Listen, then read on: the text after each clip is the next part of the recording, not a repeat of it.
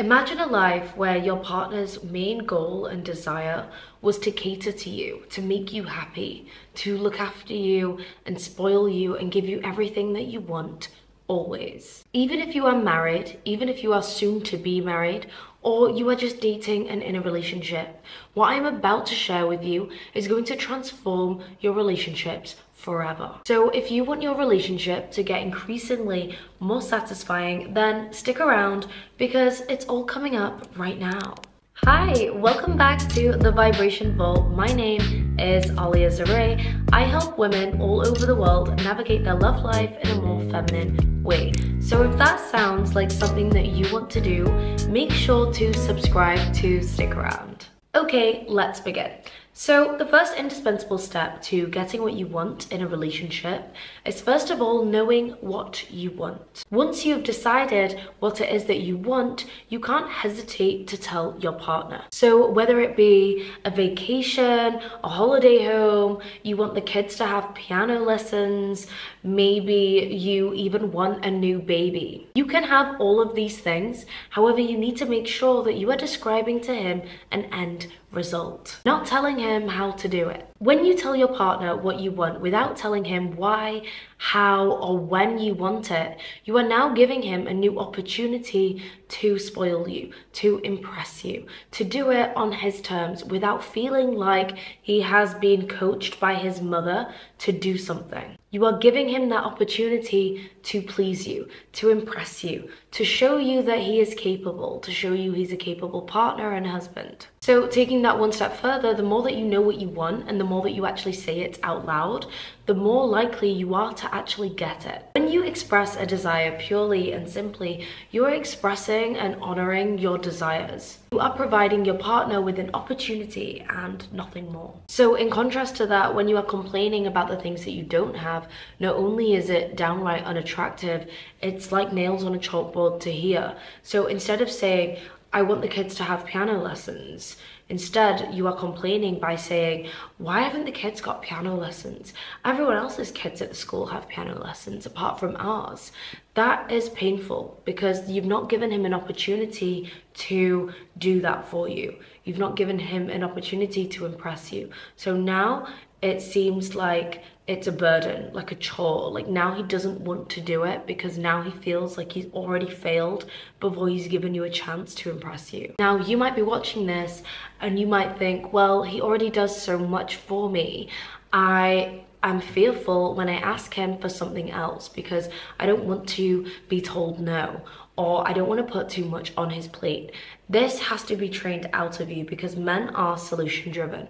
They want you to come to them with problems and they want to be able to find you a solution. A man has to feel like he has a role to play in your life. And I get it, it's difficult. Some of us have actually had that I want trained out of us. Maybe we were told once upon a time when we were younger to stop being so self-centered or to think of others that have got less than you or maybe just to be more practical. Let me give you an example. I was walking the other day and I walked past a park and I saw this mother and her daughter and her daughter was playing and the mother said to her young daughter, she said, come on, we have to go now. And the young daughter said, I don't want to. In which the mother responded, You don't want to be with your mum? You don't want to come home with mummy? That's not very nice of you that you don't want to be with mummy. What happened is the mother has twisted the daughter's statement and has made it into some sort of personal attack. And unfortunately, she is well on her way to training the I want out of her daughter. Just like the little girl at the park, a lot of us have been coached and trained subconsciously into believing that it's distasteful to express what we really want and what we really desire. But that just simply isn't true. Knowing what you want and being able to express it is one of the purest forms of self-love. It's actually a very attractive quality that a feminine woman possesses. Think about it. If you don't tell your partner what it is directly that you actually want, then you are going to be the one who is going to suffer. What that means is you're going to be the one that is ignoring your own desires.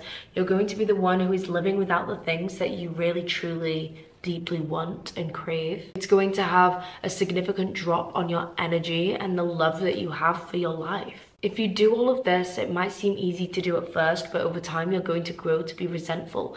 And being resentful is a very, very, very ugly trait to have. If you believe you deserve them, then the others around you are going to believe that you deserve them too. What it means is that now you don't have to waste energy thinking about how you are going to get the things that you want by making it seem like it actually serves some other sort of noble purpose. Remember, you are not a martyr. Nobody has to guess what they need to do in order to please you. You don't have to wait to be disappointed or pretend to be happy. It may not seem like it, but your partner wants to desperately make you happy. If you don't believe me on that point, ask any married man or ask any man in a long term relationship what their main goal is in their relationship, and they will all say the same thing. It is essential that my wife or my girlfriend is happy. I want to make her happy. I want to do things to make her happy because when she is happy, he is happier. And if you really think about it, there are signs around us all the time where men are constantly trying to cater to us to make our lives easier. However, we just choose to ignore these signs. Think about it. When you are cold and your partner gives you his jacket, he is doing that to make your life nicer to make you more comfortable. When you are trying on clothes in the fitting room, when you are shopping, who is the one who is holding your purse? Your partner. He's doing that so it makes your life easier, so it makes it more enjoyable for you to try on your clothes and shop without worrying about your personal belongings. Every time I look around me, like, and I look at my partner included, I'm reminded of the great lengths that men go to to make us happier, to make our lives easier. It's just that we want some sort of massive grand gesture in order to prove it, but there are so many things that you choose to ignore that happen in your day to day life. Like, honestly, could their priorities be any more obvious? You just need to get over your fear of opening your mouth and asking. If you are watching this, you also might be the type of woman who wants your partner to guess what it is that you want. And why you do that is because then if you get him to guess, you don't have to actually acknowledge your own desires. To get a sense of what that looks like, let me just give you an example. Imagine you go into a restaurant and you're really hungry and you sit down and the server comes up to you and says, please can I take your order? What would you like to eat? And you say, I think you know you know what I want to eat. At best, the server could give you the special that's on the menu. Or she could just choose something at random off the menu and bring it to you. What I'm saying is the chances are going to be slim that what she brings you is going to be exactly what it is that you want. Asking your partner to guess what you want is just another way of you avoiding expressing what it is that you truly want and what you desire.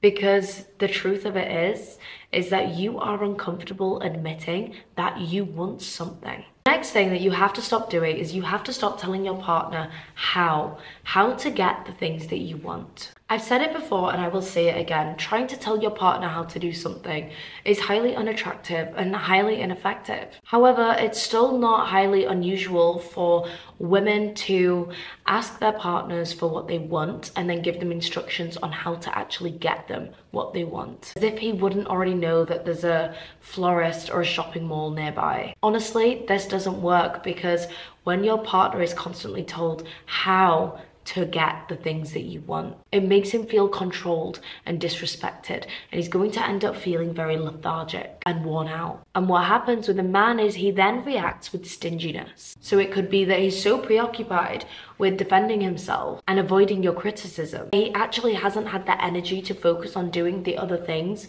that really please you. Let me give you an example. Let's go back to the restaurant example just to illustrate this point. The server wants to take your order and instead of telling her what it is that you want to order, you start to tell her how to prepare it. So let me give you an example. Let's say you order a chicken Caesar salad. You start to tell her how to cook the chicken, what heat to cook the chicken on, what sauce to use on the chicken, what seasoning to use, how to garnish it, how to keep the moisture in the chicken, how to cut up the salad leaves. Naturally, the restaurant staff are going to find you very, very irritating. Remember, nobody wants to be told how to do their job. It's humiliating, it's infuriating. It makes you feel like you are incapable. It makes that person feel like there is a lack of trust. And when you tell your man how to get the things that you want, it makes him feel like you do not trust him enough to be able to deal with that himself. So remember, just state your desire and let him just figure out the rest. Let me give you an example. Let's say you want a new dress. You would just say, I want a new dress. Or if you want another baby, you just say, I want another baby. Notice how all of these things are just the end result. You're not explaining to him how to actually do this. Saying you want another baby is very different than telling him to wear looser underwear so he can keep his sperm count up so you can have another baby. Saying that you want a bigger house is a lot different to you saying that he needs to ask for a raise in order for you guys to buy another house. Do you see the difference? So you are explaining the end result. You're not specifying how it's actually going to happen. That is all his job. Another thing that you have to stop doing is you have to stop explaining why you want something. You do not need to give lengthy justifications as to why it is that you want something. You do not need to justify your demands. So let me give you an example. Let's say you want that new dress. You don't need to start saying, I want this dress because I haven't been shopping in ages and I haven't bought anything in so long and Last week, I saved so much money on the groceries. When you say this, although you think you're just adding explanations in order to justify why it is that you want what you want. When you say this, what he hears is, you never think I deserve anything, but I'm going to tell you why you're wrong. Your explanations that you are adding unnecessarily dangerously start to sound a lot like complaints. Now the focus isn't on the fact you want a new dress. Now the focus is, I had to save so much money on groceries last week and I've not been able to go shopping in so long. So the focus isn't no longer on the fact that now you want a new dress, which is absolutely perfectly fine. Now you're giving all of these explanations as to why, which look a lot like complaints. In his head, he's going to switch off and it's going to create a distance between you both and you're not going to understand why. A feminine woman knows that she doesn't need to give her partner a long, lengthy explanation as to why it is that she wants what she wants. You don't have to explain yourself to anyone. The next thing you have to stop doing is asking for permission or agreement. Sometimes it's tempting to soften your desires by asking your partner something instead of telling your partner something. This may sound weird, but I see women all the time express themselves through questions instead of statements. Let me give you an example. I actually did this not that long ago with my partner when we were sat in the living room. I was feeling really cold and instead of getting up and shutting the window and saying, I'm really cold, I got up and I said, aren't you cold? I'm going to close these, in which he responded, no, actually, I'm not cold, I'm, I'm absolutely fine, I'm quite hot actually. As it turns out, he didn't actually mind me closing the windows at all. But it had nothing to do with his desires and everything to do with mine. I was the one who wanted to warm up, but I tried to win his agreement in order to make myself feel less selfish. The next thing that you have to stop doing is you have to stop projecting your desires onto your partner. Sometimes what you might do is you might try and project your desire onto your partner so it makes it look like you don't want too much or you're not asking for too much because it's a shared desire. Let me give you an example. Have you ever said something like this to your partner? Don't you want to see Italy this summer? Or don't you think it would be great for us to have a sauna in the house? And then when your partner turns around and he says something like,